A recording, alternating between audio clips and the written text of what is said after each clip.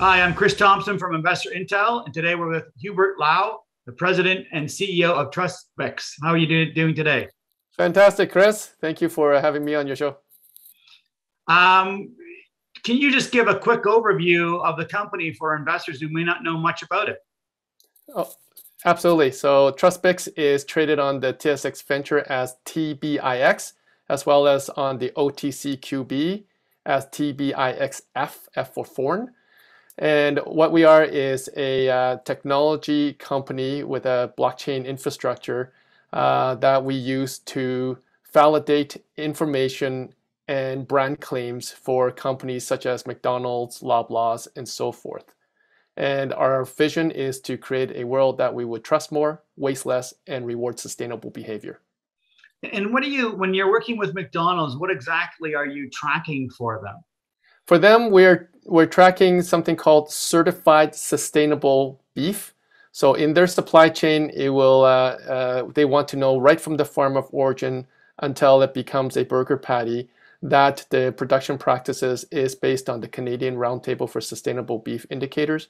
So we not only track all of that for companies like McDonald's, but we also take in, uh, incentive uh, uh, funds from the retailers such as McDonald's and distributed to the farms and feedlots across Canada for the extra work they do. So you're both a, a tracking mechanism as well as a payment system. Yes.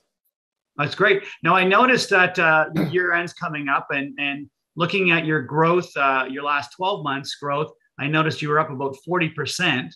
Uh, what can you sort of tell us about how your year's gone done, and and you have a a year end coming up? Is that correct?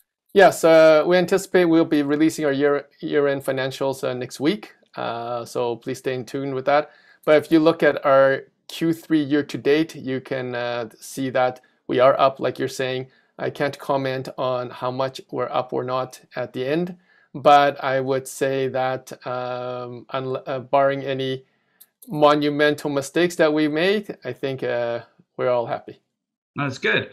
Um, when you're talking about uh, your products, I, I, did a little review of your latest news releases, and you had a number of announcements on your BIX platform, which is your business information or sorry, info exchange uh, system. So, can you uh, give us a little bit of overview of, of the product enhancements you've done recently? Absolutely. What we have we have done uh, recently is to ensure that uh, we no longer just track beef. We're able to track pretty much all food products and with the enhancement uh, announcement is that not only are we just about food, if we wanted to, we can expand into other industries, other sectors as well based on our platform. Uh, and it really positions us to not only do traceability and, and tracking of information on an operation level, operational level, but also on a supply chain and value chain level. So when you think about what our retailers and wholesalers need to claim or put onto their balance sheets nowadays. Uh, we're moving towards allowing them to be able to have validated or verified information for them to make the claims that they want. And I saw one that sort of piqued my interest. It was biomass. Yes. So what what exactly is the biomass that you're tracking? That I, that fascinated me. Well, the biomass, it, it, was a fascinating thing and a great learning experience for us too, because if we're talking about reduce waste as part of our mission, is that if we can take biomass waste and convert it into bioindustrial products, so you're reusing waste in different manners, it, it is fantastic. But one of the things that the, the biomass industry has, has ran into is how do they know that the end products really came through what is claimed? And so the, uh, the BQNC, which is the Biomass Quality Network of Canada, uh, with over 500 members in it, actually approached us and say, we love what you're doing and that it allows us to make the claims that we want to.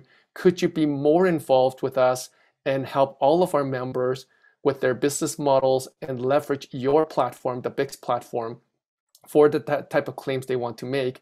To show that the redu- not only the reduction of waste, but also the reusing uh, into bio-industrial products. Well, that's great. Um, and your latest news was uh, a round of financing, uh, maybe up, up to a million dollars. Um, how is that going, and, and what are you going to use the funds for? Well, the uh, the reason for for the financing is that we're looking at, into uh, 2022 and onwards, and one of the things that we're seeing is that there's a lot of orphaned technology companies who are looking to grow, but they just don't have the right solution to grow within. And so we could uh, potentially pick these up as uh, acquisition opportunities for us. So the million dollars that we want to raise is to start positioning ourselves into that. And we're doing it at 16 cents, no warrants. And uh, we've just announced it and we're already uh, got $700,000 committed. So we're down to our last 300. Great. And uh, so what are you going to target it for? Is it acquisitions or also the product development? Uh, you know what? It, it's going to be a whole mixture of them. Uh, uh, you know, as well as working capital, of course, because uh, you know we're always looking at how to grow and how to be more efficient. And so our development is nonstop. That's part of our R and D. And and uh, you know, year to date, uh, our R and D has gone up 100 percent than mm-hmm. previous years. So really focus on R and D, acquisition, and then also making sure that our our company is running efficiently. Now, looking at this space, you're operating in things like trust, uh, you know, reducing waste, uh, sustainability. What sort of uh, market size are you looking at, either in Canada or, or the US right now?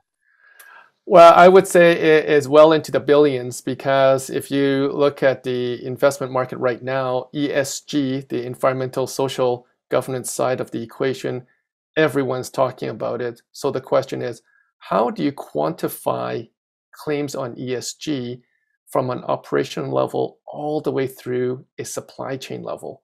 And we are positioned extremely well to do that moving forward. And uh, that's part of our 2022 strategy. Well, great. I, I appreciate your time today. Uh, and I look forward to following the company over the next year uh, as you raise funds and, and, and, and allocate those funds uh, to production. Thanks for your time. Thank you, Chris. Thank you, Chris. Happy holidays, everyone.